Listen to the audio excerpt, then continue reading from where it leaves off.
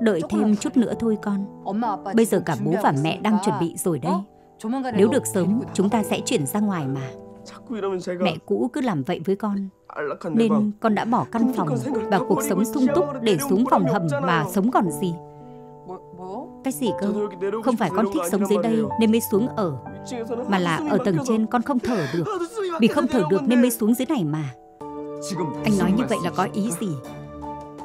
Ý anh là Giám đốc Lee Hiên U đã cố ý dùng tôi làm vật thế thân Che giấu cho các anh.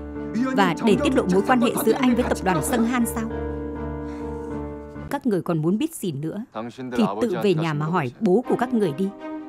Vì ông ta có lẽ sẽ biết rõ hơn tôi đấy. Tôi sẽ vào trong phòng nghỉ ngơi. Ông làm gì thì làm đi. Và còn bó hoa này tôi sẽ vứt